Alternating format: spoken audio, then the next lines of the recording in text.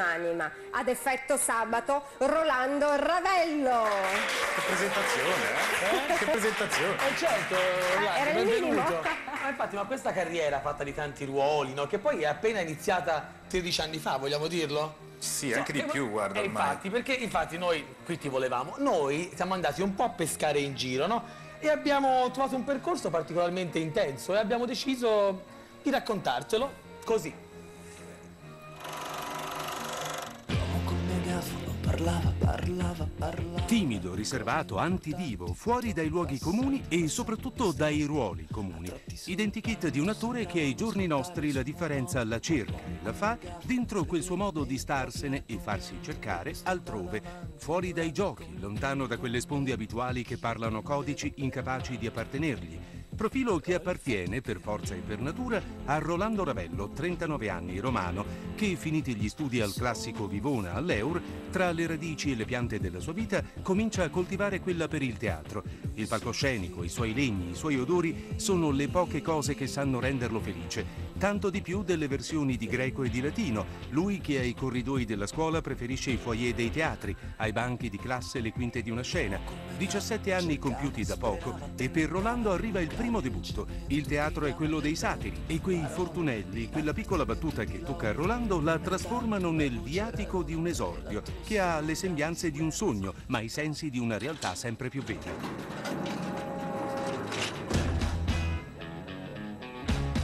Iscrizione all'Università di Economia per far felice papà. Rolando, fatti due conti, capisce che l'investimento più redditizio e sicuro per lui è quello sul proprio futuro. Così i testi di Keynes lasciano il posto alle lezioni del maestro Dio t'aiuti alla Scaletta, uno dei più gettonati laboratori teatrali della città. Una palestra dove Rolando allena i muscoli fino allo sfinimento e fino a che fatica, sudore e tante porte in faccia non trovino persone e occasione giuste. Quasi una metafora che incrocia, e non solo, il romanzo di un giovane povero di Ettore Scola, maestro e secondo padre che aprono a Rolando le porte di un mondo dove alcuni ruoli sembrano starlo ad aspettare.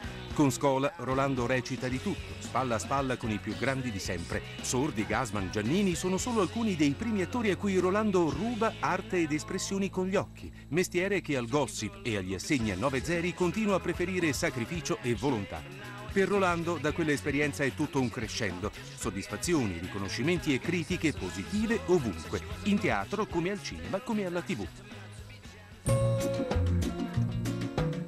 La sua straordinaria capacità mimica, che lo porta a trasformarsi in mille personaggi tanto estremi quanto differenti tra loro, ne fa prima un serial killer in Almost Blue, poi un mito del ciclismo nel ricordo di Marco Pantani.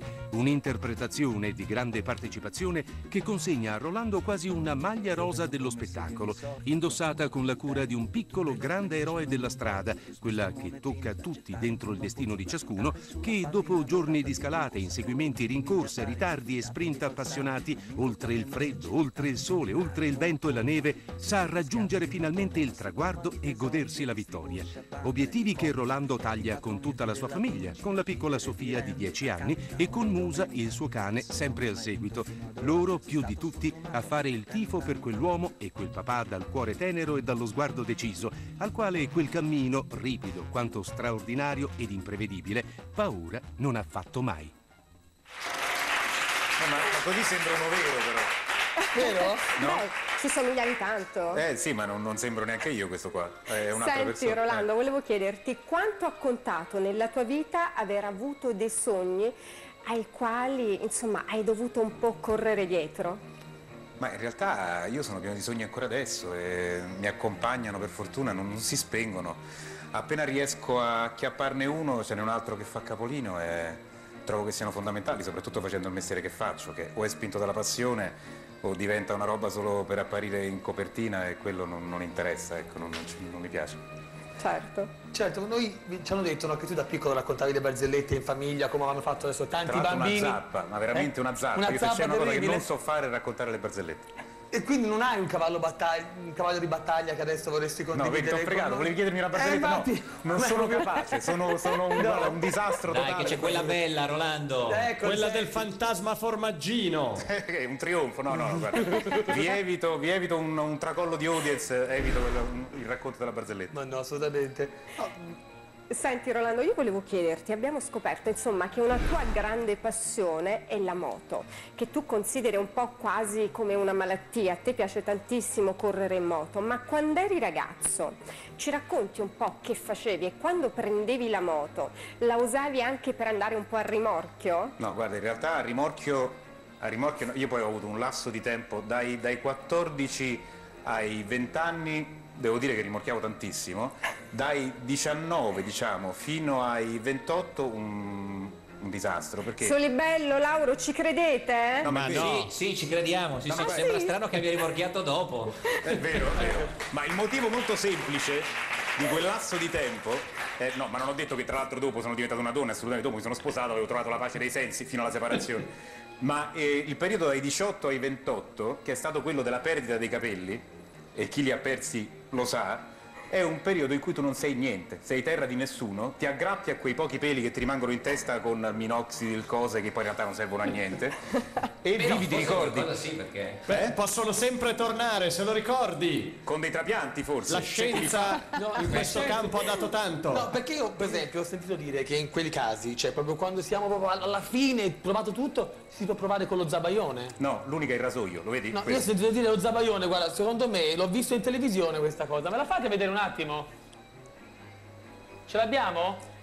Ecco, c'è una regia. Guarda che fa benissimo e anche da- dà anche molta energia. E sta bene soprattutto ai capelli. Ma dai, Sì, sì, rafforza il cuoio capelluto. rafforza? Rafforza. E io non ne ho bisogno. Ma neanch'io. E te tocca, Rolando! no, no, no, no, Che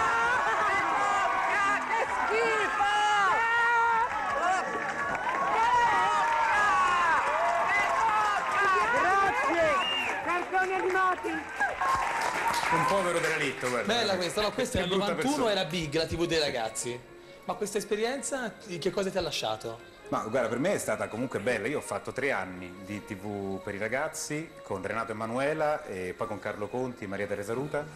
E tra l'altro è stato tutto per caso, perché io il provino in realtà non l'ho fatto, l'hanno fatto Renato Emanuela, con cui io avevo un trio e facevo degli sketch comici l'anno prima a Telemonte Carlo. Poi ero partito per andare a fare una tournée teatrale, facevo l'aiutoregia e loro fecero il provino per la trasmissione e presero il pacchetto, presero tutti e tre. Quindi io mi trovai in questa cosa senza neanche averne titolo, devo dire la verità, cioè sono stato preso perché il provino l'avevano fatto loro. E poi è andata avanti per tre anni, poi dopo tre anni io sono uscito e mi ha preso Ettore Scola per fare Romanzo di un giovane povero e da lì è partita proprio un'altra carriera. Certo. Però non lo rinnego assolutamente, anzi è stata una grande esperienza perché era tutti i giorni in diretta, due ore al giorno, tutti i santi giorni della settimana, per tre anni alla fine qualcosa impari anche se una sei di bella, legno. una, eh. una bella, bella scuola, bella esperienza sicuramente. Senti Rolando, io vorrei tornare un attimino alla tua passione, alla tua passione per le moto. Io so che quando tu guidi la tua moto, quando sfrecci sulla tua moto, provi un brivido molto grande. Ma vorrei sapere nella tua vita qual è stato il brivido più grande che hai incrociato? Adesso dirò una cosa che sembrerà patetica, detta a Natale, poi però la nascita di mia figlia sicuramente. E sicuramente direi, Appunto. per chi non lo è, tra l'altro Luca a breve anche lui sarà papà, vero Esatto, Luca? esatto, io ho quattro settimane, quindi insomma. Ma non sai, non sai che è bello, cioè non sai cosa Non ti vedo l'ora. aspetta ed è un mondo fantastico. Senti Rolando, ma se io ti dico la parola velocità, Mm. a cosa pensi? Guarda, io in realtà, devo dire all'epoca ero anche abbastanza delinquente, ora un po' meno, però velocità per me significa la seconda passione della mia esistenza, come dicevi prima, che sono la macchina, le macchine, le moto, io corro anche in pista, mi diverto, tra l'altro vado, cioè riesco a fare anche bei tempi. forte. Sì, sì, sì, è una passione che ho maledetta da sempre.